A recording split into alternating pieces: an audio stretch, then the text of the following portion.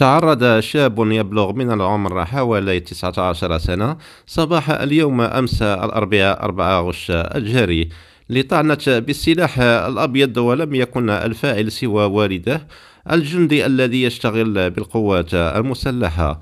وذكرت مصادر أن الشاب تعرض للطعن عندما كان يدافع عن والدته التي فرت من المنزل الكائن بمراكش بعد دخولها في نقاش مع زوجها الجندي.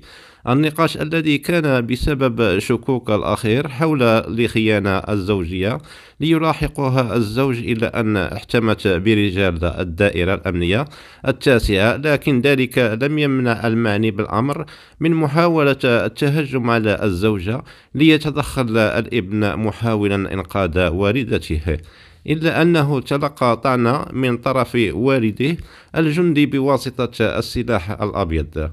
وقد تم نقل الإبن نحو مستعجلة مستشفى الرازي بمراكش عبر سيارة الإسعاف على وجه السرعة فيما تدخلت العناصر الأمنية لإيقاف الأب والاستماع إليه في محضر رسمي رفقة الزوجة.